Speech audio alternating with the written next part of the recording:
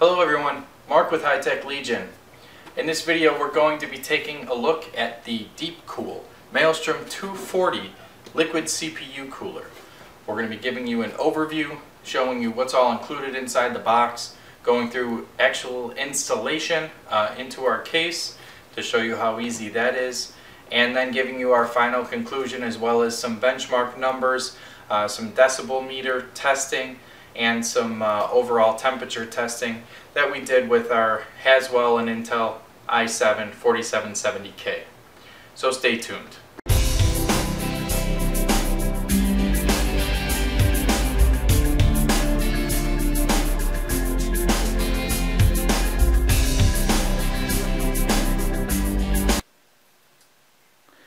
So here we can see our actual all-in-one water cooling unit, our fans with our red blades, and our box uh, with the Maelstrom 240 liquid CPU cooler, kind of a breakdown of the internals of our pump housing here. And also we can see on the other side, it kind of depicts how this logo lights up with our plastic cover on here. Our box goes through a few basic features um, of the unit itself on the top here and then also our dimensions of our unit on the back. Um, the basic features of this unit is the unique pump with the closed impeller, uh, the zirconia ceramic bearing, and a runtime on that pump of 120,000 hours. Inside the water block itself, it is a 0.2 millimeter high density micro channel and copper block so the water can flow through and maximum transfer of the heat to the water and then into our radiator for maximum cooling capacity. We can also see our fans, which they are 120 millimeter fans. They are rubber fans. We can see them flex here. Uh, it is an FDB, a fluid dynamic bearing, and the fan blades are detachable. So you could take these fans off if you weren't a fan of red. Uh, take these fan blades off. You could paint them or just they're easily removable for cleaning, um, whatever else that you may need to do. Here are your four pin PWM on both of your fan on both of your fans. So those will plug in and can be PWM controlled. Here we can see our actual unit itself. And we'll go ahead and take a look. Now, one thing that I want to note on this is the actual um, tubing is the FEP tubing. It does have the, the plastic, which a good thing about that is it prevents it from kinking under tight bends. A bad thing about that is it's a little less flexible, so it's a little harder to work with if you're trying to, you know, depending on where you're going to be mounting your radiator inside your case, it's a little less flexible. So it doesn't have the give, but it does have the uh, non-kink capacity. On the top of the plastic here, we can see the Gamerstorm logo that does light up. Uh, it's got a breathing effect, effect with a white LED. On the bottom here we can see our copper base plate. Um, I have cleaned the thermal paste off because this unit has already been mounted uh, for our testing. And we have our 3-pin connector to power our pump. The overall unit itself is from top of the radiator to the bottom of the radiator is 274 millimeters. It is of course 120 millimeters wide and it is 27 millimeters thick. It is an aluminum radiator and since we have the copper block and the aluminum radiator we can only assume that the fluid inside uh, must have agents for the multiple kinds of metal and also an agent to help the water from, from algae or anything growing inside the closed loop. It does come with a three-year warranty. So we can see also on our radiator here, our standard 120 millimeter mounting holes. And then we can see our fin density, which is pretty standard. Um, however, this is a 20 FPI density on the radiator. So, and actually what we did see with this cooler itself was at the lower speed as opposed to max speed on these fans, they do have a pretty decent static pressure. So at the lower speed, we didn't really see a great uh, performance increase going from uh, to our max fan speed. One other thing that we can note here is on the side of our pump housing, there is actually a sticker that says, caution, no warranty if torn. So they have told us of the 0.2 millimeter uh, micro channel inside our housing here for the, uh, the water block. However, we cannot actually look inside to verify that without voiding the warranty of this unit. We also have from the bottom of our block to the top of our unit is 31.5 millimeters. We have from the, the dimensions from the tubing here to the outside of the block here is 86, 85.6 millimeters and it is 54 millimeters within our screws that attach the block to the pump here from side to side. So overall, very lightweight radiator because it is the aluminum radiator. Uh, the whole unit itself is pretty lightweight. The block does have, the block and pump do have a little bit of weight to them. Um, but so far, seems like a pretty standard 240 millimeter all-in-one water cooling unit with the exception again of the fans. I thought this was a nice feature that they have the rubber.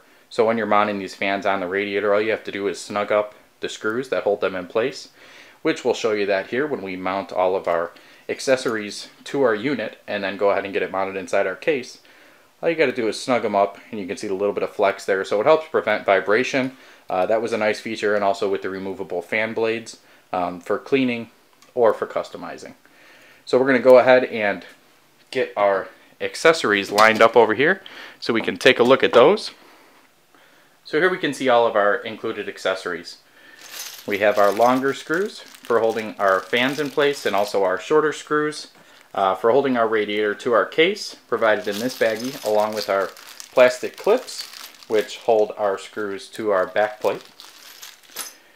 We have our Intel LGA 2011 mounting screws we have our AMD brackets, our Intel brackets, and the hold down screws for the brackets, and also the small screws to attach the brackets to the bottom of the CPU block. We have an included GamerStorm case badge. It is uh, it's not uh, like a flexible sticker. It's actually like a metal, you know, maybe hard plastic badge. Deepcool does also include a 4-pin 4-port PWM fan hub. So we have our one 4-pin PWM that could plug into our motherboard. And then we have our four ports. And of course the white one here would be our main port. Um, but you could plug 3-pin or 4-pin fans into this. So you could also plug your pump and both fans into this controller. Or you could plug your miscellaneous case fans into this controller and then regulate all the fans um, based on just this one controller. So a nice little added feature from Deepcool. They also include one zip tie with that controller to help with cable management. And then we have our two-in-one backplate.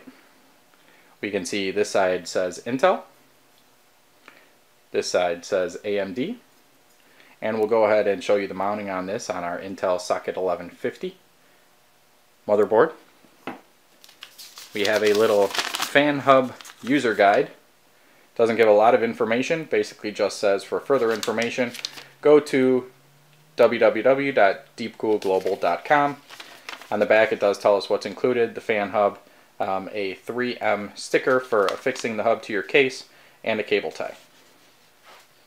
And then we have our user's manual, which goes through, of course, our mounting installation process. So, it's pretty straightforward as far as mounting goes, but it does give you something to reference um, so that you can see just how everything works. Again, if you've worked with, you know, either, even air coolers or other all-in-one water cooling units, um, most of the accessories and mounting uh, hardware that's included is pretty straightforward on how it would get mounted, but that's just a guide to go ahead and give you some additional information.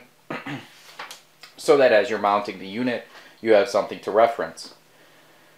So we're going to go ahead and start the prep on this unit. We're going to get our mounting block mounted to our uh, the bottom of our CPU block, or our mounting plates, I should say, mounted to the bottom of the CPU block. We're going to go ahead and get our fans in, in, screwed into our radiator. and get everything set so that we can begin the mounting in our case. Stay tuned.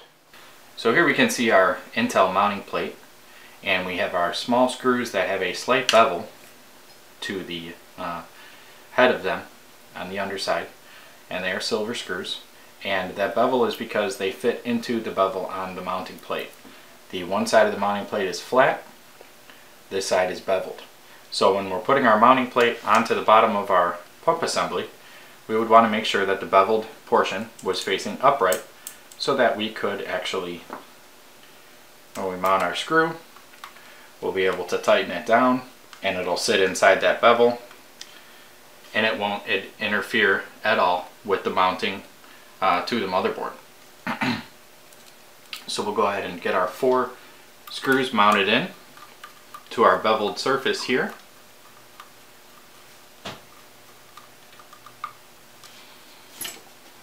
And it's the same with the other side. Now again, these don't need to be over overly tight. Snug is good. Uh, one thing I will mention here about the tubing on the radiator, being that it's not very flexible. Um, turning this upright so that I can actually work on this unit and screw these in with the radiator facing just laying flat on the surface so that it doesn't fall over, uh, we can definitely feel the tension on the tubing. So the flexibility is a little bit of a hindrance. Um, however, the nice thing about the tubing is that it will not kink and it is crush proof. So if you did happen to accidentally drop something on the tubing, you're not going to crush it and uh, destroy your cooler. So we have all four of our screws mounted into our plates that will hold uh, our back plate will come through the back side of the motherboard and our studs will come up through here. And then these will screw down onto the top of those studs to hold our pump assembly onto our motherboard and onto our CPU. So let's go ahead and move that out of the way and we'll show you our back plate assembly here. So what we have is these four studs that you can see they're threaded on one side. So if we were using the Intel uh, backplate, the Intel portion, now you can see if you look at the backplate this way that we would want this portion to be flat against our motherboard. So if we are using AMD, we would want to put the screws through the AMD slots that way. And because we're using Intel, we're going to put them through our slots this way. The inner slots are for 1155 1156 and 1150. The outer slots would be for 1366 or 2011. So there's a little tab on the underneath of the screw. Not sure if you can see it in the camera there, um, but we'd want to make sure that you can see that it doesn't sit flat there. We want to make sure that it's lined up with the other portion of the hole. so here for the 1155, we actually want that little tab to be going through the other portion of the opening there so that we can take our little plastic mounting clip and we can see that just slides on and locks right in place. So it's a fairly easy assembly of our back plate. We get all our screws through, make sure they're flat, slide, lock in place. We repeat that four times. Make sure our screws are flat.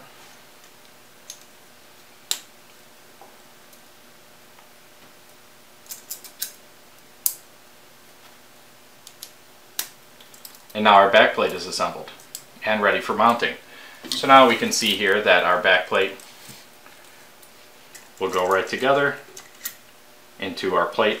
Of course there will be the space for the CPU socket in there. And then we can see that the threads will stick up above that we screw our thumb screws down onto. One thing I will note about these thumb screws is when these were tightened down onto the socket, you can see here in the top that we can use a Phillips screwdriver. When we start to tighten them down, here's what happens. As we get a little tighter, the actual stud begins to come up through the center of the thumb screw and we get to a point where we can no longer turn cleanly our screw because the stud is actually pointing up through the center. So at that point you would either have to use your, your hand and firmly tighten it down um, or use some kind of pliers around the outside to snug it up, or you could get a flat blade screwdriver still inside because the Phillips screwdriver comes to a pointed tip like that, it will no longer go down to get that final snug. So a flat blade screwdriver would do the trick or a pair of pliers. So we're going to go ahead and we're going to be mounting this inside our 780T um, on a B85 series motherboard. Um, we're not going to be installing it actually on a processor. As I said, we've already done our testing. Our base has been cleaned of our thermal paste. So we're just going to go through our basic mounting procedure and how the backplate comes through the motherboard, how everything secures tightly down to the motherboard itself. And before we do that, we'll go ahead and get our fans mounted. So we're going to go ahead and mount our fans to our radiator and we can see our fans do have directional arrows on the side of them here. So the airflow flows from this side through to this side and the fan blades rotate this way. So because we're going to be, if I was going to be mounting this way, this would push air through the radiator. If I wanted to mount this way, this would pull air through the radiator. Because we're going to be mounting this to the top side of the case and the case fans will be inside the case, we're going to push the air through the radiator. We're going to use our long included fan screws. And again, this is the rubber fan. Once you line it up, the holes in the radiator for the uh, fan screws are very clean, so it's easy to get in. And all it takes is a little snug to get the fan in the to get it snugged up to the radiator here. I'm going to go ahead and get all four started. And when we give it a little snug, we can see that fan mount flex a little bit there. So it holds it very tight. And it will also prevent vibration because it is the rubber outer mounting on the fan. So again, very straightforward. We get our four screws, we get them snugged in, tightened up. Our fan is very secure. There's no vibration at all. There's no need for a rubber spacer or anything to prevent vibration because of the rubber fan. And the fan screws are very, uh, hold the fan very secure in place. So we'll go ahead and get our other fan mounted here.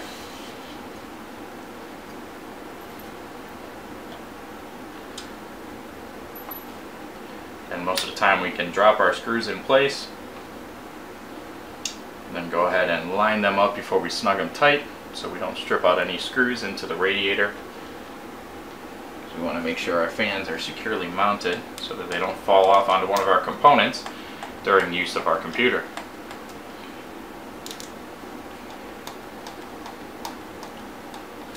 So we can actually see here if I loosen this one back a little bit we can see the lip difference here between the fan and then when I stug it up it sucks it right down onto that rubber.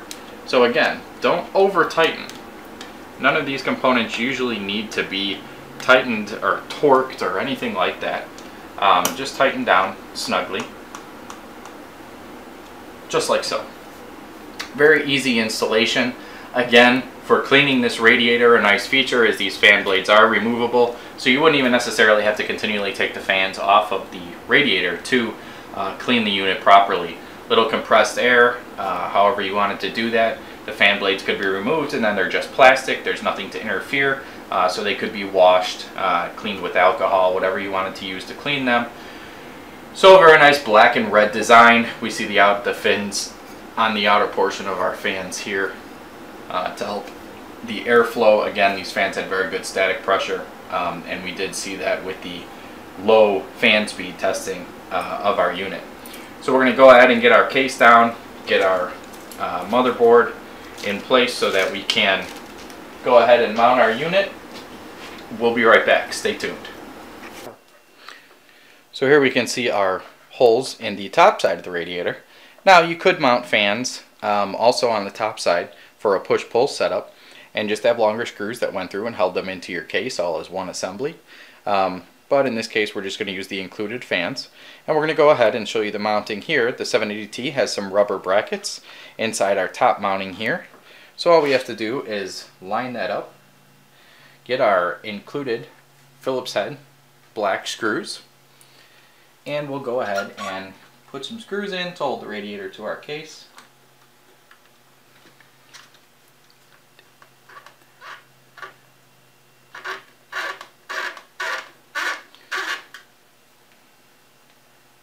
And what I usually do, because these units are not that heavy, once we get uh, two screws in, and I usually go corner to corner,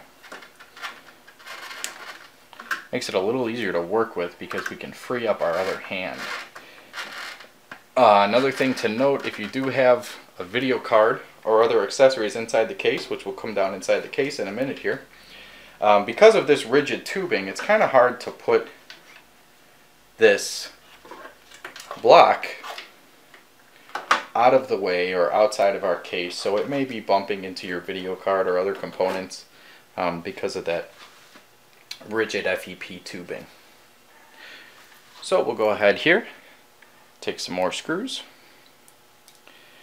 go in each of our other corners.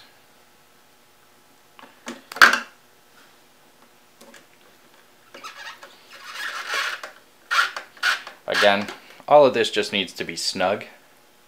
We want to make sure that we are getting the threads in the radiator, that we are making it tight.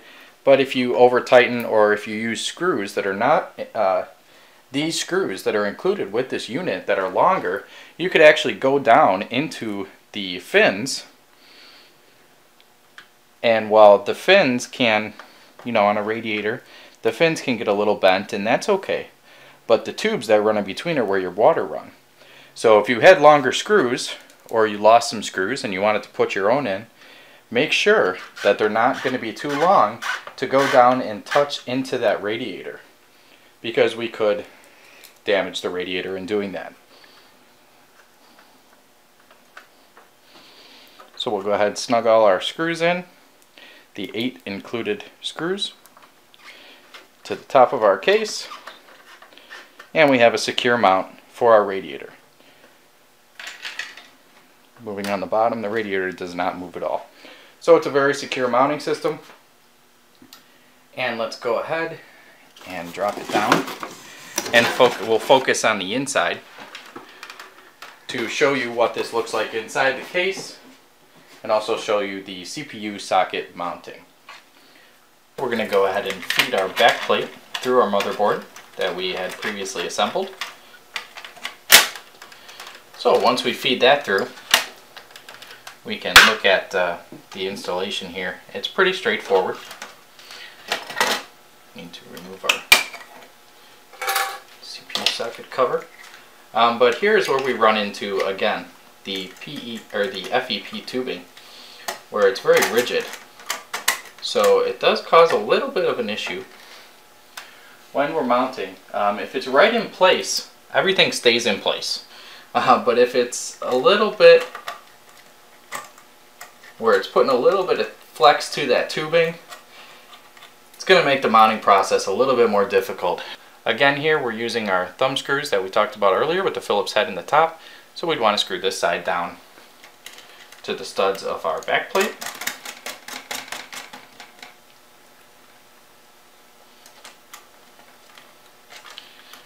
go ahead and get all four of these started. Snugged up. As I was explaining earlier, once we get them snug down, we'll be able to see how we can't use our Phillips screwdriver anymore. And I will just grab a flathead screwdriver and go ahead and give them the final snug. So, here we can see with our tubing mounted, our radiator up to the top, I kept the tubing towards the back of the case. We have our GamerStorm logo straight up and down so that it's it's uh, going to be visually appealing. As I said, it does light up. This tubing would have been a little bit better to be flexed and over on this side. We could move the mounting brackets on the bottom of the CPU block uh, to do that. So you may want to pay attention to that if you want the tubing running a certain way inside your case to keep this uh, this logo straight up at the top. If we came to the other side, it might the the plates on the block might mount in a different direction. But here we can see our tubing is nice and curved. It's pretty much out of the way of this logo, so you'll be able to see it clear through the side if you have um, a side panel window. Again, because it does light up. And we can see here when we have these screws all the way down now, a Phillips screwdriver does absolutely no good for us. So we'll go ahead and grab our flat blade screwdriver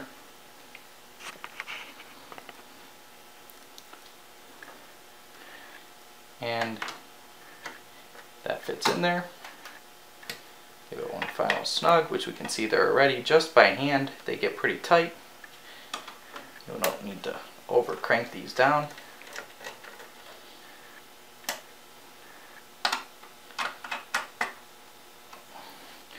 And that's pretty much it. So it's kind of like a quarter turn after you've done them by hand. If you wanted to do that, I think if you were able to tighten them really tight by hand, or you could use a plier and come down over the top of the mounting here to get them a little bit tighter past what you can do with a Phillips screwdriver. So we can see again inside our case here, uh, it does look very appealing. The red fans are nice, especially if you have a red theme to your case. Instead of seeing how nice it looks inside the case, let's see how well it performed. We're going to go ahead and get our benchmark numbers up, so stay tuned for that. So looking at our benchmarks here, we can see that the max fan speed as opposed to our 40 decibel level, the 40 decibel level was very quiet. The max fan speed was pretty loud. We can see at our stock uh, CPU settings, the increase in performance was only 1 degree Celsius. Um, at our 4.4 overclock, we see a 2 degree Celsius idle and 1 degree Celsius load increase in performance. So while the 40 decibel, about 39 decibel that we tested, as opposed to the 53 decibel reading we received at max fan speed, doesn't really warrant just the 1 degree Celsius improvement because the fans do get pretty loud when they get up to that top speed. So overall with this cooler, we saw a lot of the same. The price of this unit was pretty much on par with other all-in-one closed-loop water cooling units that are giving you the same features that this one has to offer. However, the performance of this unit seemed to be a little bit less than those of competing units. We also noticed that the fans get pretty loud at our max speed. So if you're going to use the fan hub controller, and you're going to set them down or use the PWM portion and let it auto tune according to temperature, then the fans won't really be an issue. Again, with the fans running at a low speed, we did see just about the same performance even when the fans were running at the maximum speed. So for the increase in noise from the fans, it wasn't really a warrant over the very minimal increase in performance. We do get a three-year warranty from Deepcool. Because of all of this, the performance just being on par, um, the fans getting slightly noisy even when running at a lower speed. Um, they still performed fairly well, but the performance was still not anything exceptional. Um, we did like the rubber mounting on the fans to reduce vibration. Um, that was a nice feature, the removable fan blades, um, the light up on the pump. But for an all-in-one water cooling unit, Instead of some of those features, I think there were other features that could have been integrated to better focus on the performance of this unit rather than the aesthetics. If you're going to be running your CPU at stock speeds, this unit will perform fairly well, but there are other air coolers um, that stay right on par with it. Uh, there are other water cooling units that per perform better even at a lower price point. Because of that, the Deep Cool Maelstrom 240 all-in-one liquid CPU cooler will re be receiving the Silver Award from HiTech Legion. Thank you for watching the video portion of our review of the Deep Cool Gamer Storm Maelstrom 240 liquid CPU cooler. I hope you enjoyed our review as well as our installation and numbers and how well this uh, CPU cooler performed. For the full review, make sure you go to the hitechlegion.com website and click right down here to subscribe to our future YouTube videos. Also make sure to go to Twitter and follow us at twitter.com forward slash hitechlegion. And also go over to Facebook, give us a like at facebook.com forward slash HTL reviews. Thanks for watching.